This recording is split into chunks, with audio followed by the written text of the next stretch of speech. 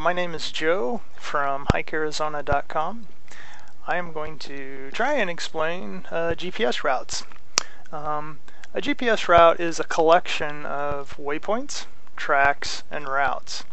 Um, some people want to know what is the difference, especially between tracks and routes. It can get a little confusing. So that's what we're going to talk about. I'm going to start off and I'm going to go to Basecamp, which is a Garmin product and I'm going to create a new list and I'm going to call it waypoints, tracks, and route. And in that I'm going to import a file into waypoints, tracks, and route. I'm going to import a GPX file that I created as an example to hopefully explain this. Okay, so it is loaded first we are going to take a look at a uh, couple things on here. The first thing we're going to look at is a route, which is this purple line. Um, a route is a series of waypoints. So you have these waypoints, for instance, you have your trailhead, your peak, alternative trailhead. Those are called waypoints. Um, for to maybe clarify here, let's call those independent waypoints whereas a track is a series of waypoints um, that would represent a route. And in this case, it would be the driving route to the trailhead. Then the actual trail is going to be a track. And when I click on that, see all those little tiny dots? Each one of those is what's called a track point, and it's going to have a whole bunch of them a route has route points. And what are route points? Route points are essentially waypoints because it's a series of waypoints. Um, a route, let's let's let's go and talk about uh, a Garmin product like the Oregon. Um, it will accept 250 route points, but a track it will accept 10,000. So a route is intended to be for major turns. A track is intended to be very precise. Each little curve in the trail, for instance, when you're hiking. Okay, so that's the overview right there. Let's go to Hike Arizona, and I'm going to click on Map, which will take me to my map, and then I will click on the Route Manager tab. Uh, in Route Manager, I'm going to load this exact same file, the route example, and we're going to see how that looks in Route Manager. Okay, so it's loaded here into Route Manager on Hike Arizona. and the difference, a little difference we're going to first note is we don't see those little flags that we saw in Basecamp. Well, in Route Manager, it doesn't currently display the symbols yet. Um, the way that you're going to know the difference is over here, when I highlight it, it says route. The other ones say track, track, track. Okay, so um, once again, your route is going to be kind of a skeleton type of object just where your turns are. As you can see there are nine points of data in it. This track over here on the other hand has 308 points and it's only two miles. Can you imagine if you went on a 20 mile hike? You might have five to 10,000 points of data. You would not want 10,000 flags on your GPS unit because you just couldn't see anything else, it would be confusing, right? So, if you have a route, you could change it over from a route. What, what I do in Route Manager is I click on the line. I could change it from a route to a track. Um, let's go into some information on this. And if I click on this, it's going to take me to this information screen. and as we noted, um, in Route Manager, it's going to tell you whether it's a route or a track over by the number. Um, we started off with the anatomy of GPX files. Uh, they're called GPS routes. GPX is the most popular file format, and that's why we're going over that specifically. And this is right from the definitions of a GPX file. It says, a waypoint is a point of interest or a named feature on a map. So we have our waypoints here. We have our four symbols for example. Then it says a track is an ordered list of points describing a path. So you can see this one mile track here could be up to let's say 3,000 points. It's probably not going to be that many, but that's just an example. Um, the example is is that waypoints over here we have four objects. The track, it's one object on the map. Okay. A route is an ordered list of waypoints representing a series of turn points leading to a destination.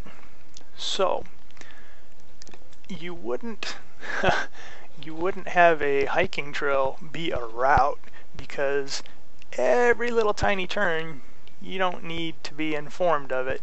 You need to be informed of major junctions and major turns. And it would look more like this. A route would be boom your parking your first point of interest your summit then your campsite. You really would not use this for a hiking trail. I just put this up here as an example. A route would be more used for a drive, where you drive 100 miles on a highway and then you get off on an exit. Then you would want that uh, waypoint on a route. And as we mentioned, a, a drive or a route is going to have very few points. Remember, a Garmin unit will only hold up to 250 points of data in a route. This drive has 9 points. The trail has 308 points because it's going to be more intense. Okay, so with that in mind, let's talk a little bit about routes on Route Manager. Um, each route point will not display a tiny icon as in, ba as in Basecamp. So we're not going to see the uh, symbols on this route as we do in Basecamp. Not yet, maybe someday. Name, comment, and symbol are not editable in, in route points. I don't know if that's a word, but I'm using it. uh, it's, it's, you can't edit it yet. Uh, maybe someday. Uh, routes will always come before tracks after saving, and that is a standard GPS property. So let's go back here. As you can see, the route is on top. All routes must be above tracks. If I move, if I change the order, and I move this route down here, so now I have tracks above it, and I go to download, boom, I'm going to get this warning thing that tells me that I need to reorder this, and I need to put the route up top. So I'm going to go ahead and I'm going to put the route back up on top, and will it let me download now? Yes, it's asking me how I want to download. So routes will always come before tracks. Splitting a route. If you split a route, if I was to click here and then click on split, each side will be a route. So let's give that a try. Let's go ahead and split it. Okay, we have our drive, and then we have our split over here is also a drive, and you can see each is a route. Joining a route and a track, the first selected item, more or less, becomes parent. So, let's go over here, and if I joined these two, I have a route and I have a track the first one I select is going to become the parent. I'm going to go with the track. I'm going to click track and I'm going to join it to this route and what's going to be parent? The track because it came first. And as we can see this whole thing is now a track. Now when you convert a route to a track you're going to lose data. You're going to lose these symbols. If these were special symbols with special names, like this might be, at the end, might be a house, and say Joe's house. Um, this might be a turn icon. I've never seen that, but let's say it is.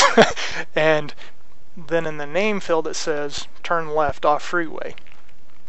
You would lose that when you convert it to a track. Well, let's go over the anatomy of a GPX file, which is where we started. So now we have all that information that we just learned, so maybe this will make sense now. I have three files here. I have a waypoint file, a track file, and a route file. The waypoint file, well, each file has four points of data. This waypoint file, this is the first point of data. It is a waypoint. A waypoint has latitude, longitude, and elevation. It also has a name and the symbol, the parking area symbol. And then we have three other ones. Let's move on down to track.